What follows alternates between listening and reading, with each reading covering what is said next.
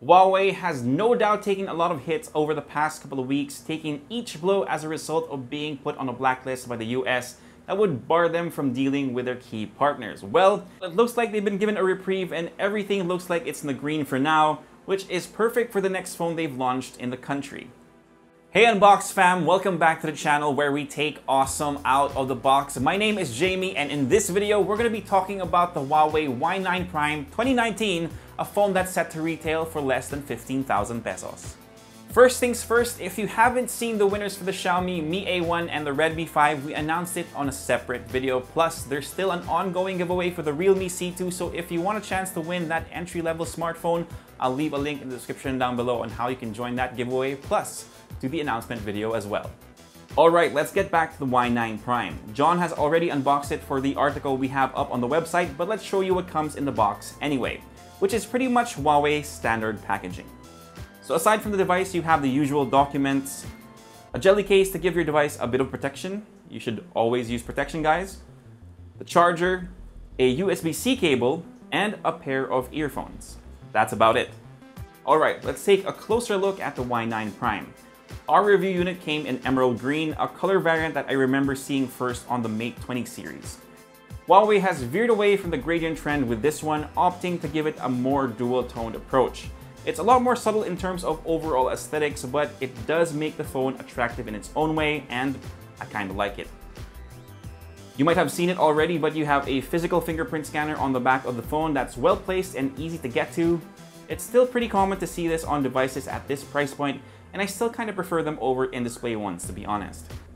You've also got a triple camera setup tucked on the upper left hand side of the Y9 Prime. It's made up of a 16 megapixel main camera at f1.8, an 8 megapixel ultra wide angle camera, plus a 2 megapixel depth sensor.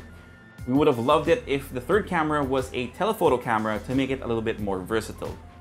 You've got the power button and volume rocker on the right side. Access to the SIM tray is up on top, along with a slot for one of the Y Prime's main highlights, the pop-up camera. And on the bottom, you have the USB-C port, flanked by a headphone jack and the speaker grill.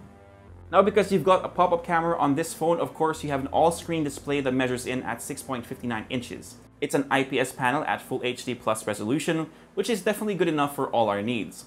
You will notice though that there is still a slight chin on this phone, but it isn't too bad at all. Honestly, it feels like I'm nitpicking considering the Y9 Prime's price bracket. Again, the absence of a notch is made possible by the phone's pop-up camera module, which houses a 16 megapixel front camera. We've only been able to take a handful of selfies so far, so I'll reserve judgment for the full review, but what do you guys think? So under the hood of the Huawei Y9 Prime 2019 is a familiar SoC, the Kirin 710 or the Kirin 710F to be exact.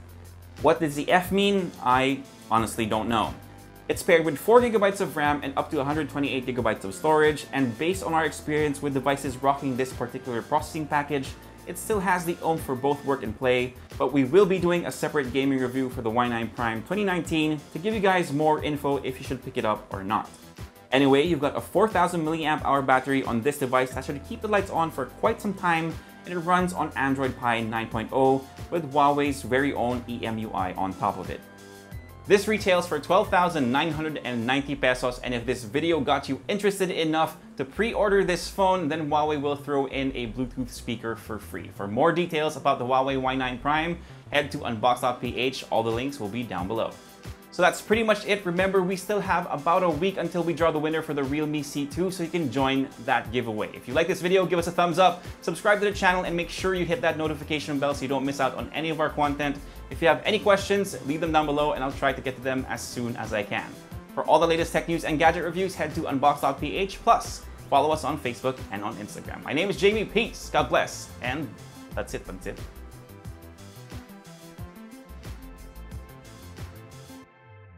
Hey Unbox fam, welcome back to the channel where we take awesome out of the box. Is my audio working by the way? Okay. so that's pretty much it. Remember, there's still time for you to join the giveaway for the Realme C2, about a week actually. So, again, links down below. You might as well subscribe.